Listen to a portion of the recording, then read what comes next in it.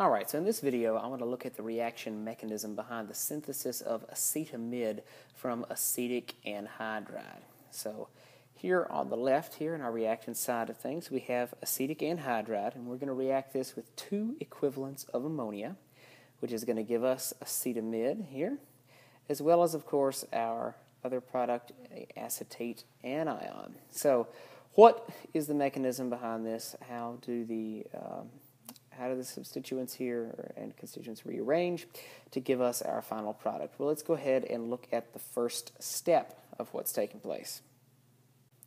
Well, we have here our acetic anhydride and our first equivalent of ammonia. And what's going to happen here is we're going to attack with this ammonia one of the two carbonyl carbons. Now, it doesn't matter which one because this molecule is symmetrical, so that's irrelevant. But the question that's important to answer is why the carbonyl carbon? Why not any other uh, carbon or atom in this molecule? Well, that's just because. Quick recap here.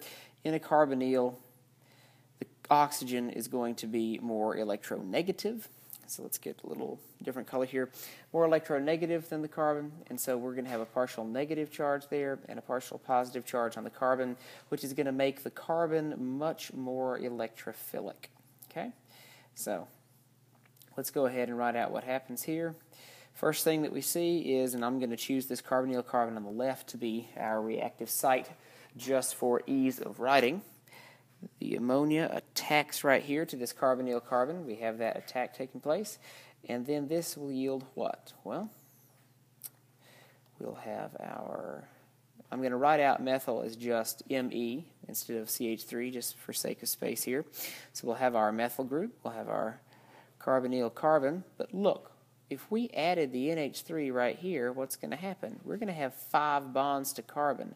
Five bonds to carbon, not okay. So what we need to do is go ahead and kick some of these electrons from the pi bond onto this oxygen.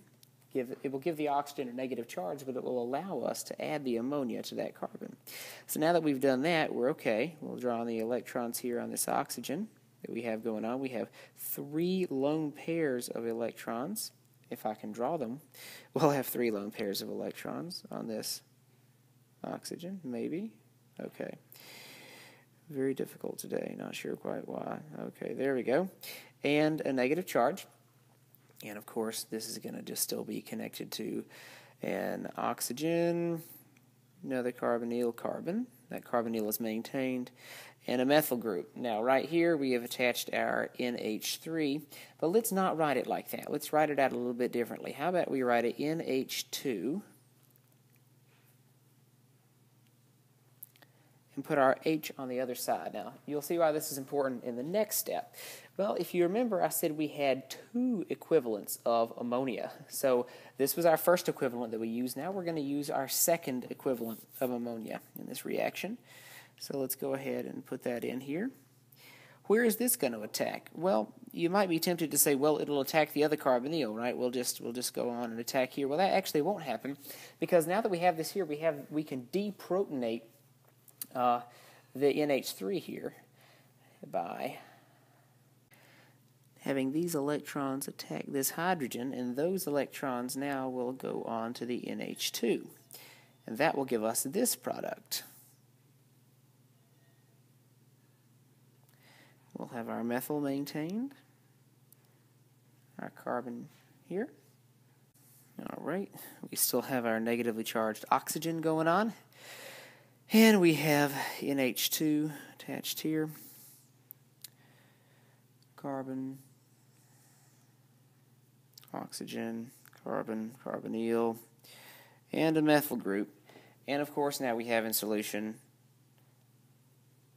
NH4 with a positive charge on it. So, now what's the next step that's going to happen? Well, we still have this negative charge up here on the oxygen. That's not fantastic. We should probably get rid of that. So when we do that, we will reform this carbonyl, reform the pi bond here. And, well, I, we don't want to make NH2 our leaving group. That would kind of defeat the purpose of what we've been trying to do here. So let's just go ahead and cleave off this entire side of the molecule. Let's take these electrons, kick them on to the oxygen, and this is going to give us product we'll write out here on the next page because we've run out of room. Now we have our, and I'll write out methyl as a CH3 again. We have our methyl group. We have our carbon. It's now a carbon as we reform that pi bond. And it is attached to what? Well, it's attached to NH2. Okay? And what also do we have? Well, we cleaved off this other side of the molecule over here. So now that we cleave that off, it has become an anion, the acetate anion that we talked about earlier, the oxygen, because we put those electrons onto it there. In this step, has a negative charge, and it is attached to carbonyl group, which was never touched, and another methyl group right here. So let's see if this compound is what we looked at in the beginning. And I think it is. So we wanted to synthesize acetamide from acetic anhydride. So we have our acetic anhydride, two equivalents of ammonium, and we wanted to get acetamide and an acetate anion, did we? Well, Acetamide is exactly what we have here, so that looks good. And this looks like an acetate anion to me, and it is. We have our negative charge here. On the oxygen, our maintained carbonyl and our maintained methyl group.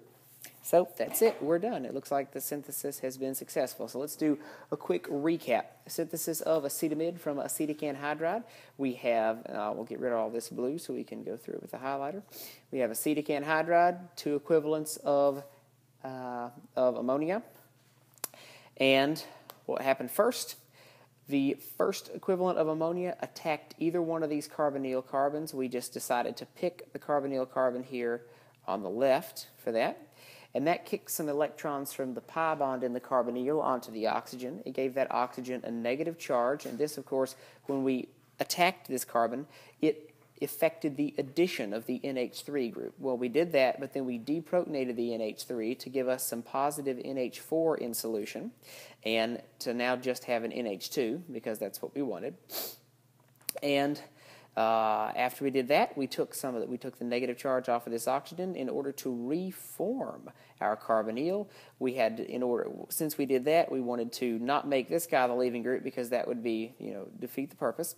So we decided to cleave off this entire side of the molecule here, which we did, and that resulted in our acetamide, which we wanted, and our acetate anion. So this was a relatively simple and successful synthesis of acetamide from acetic anhydride.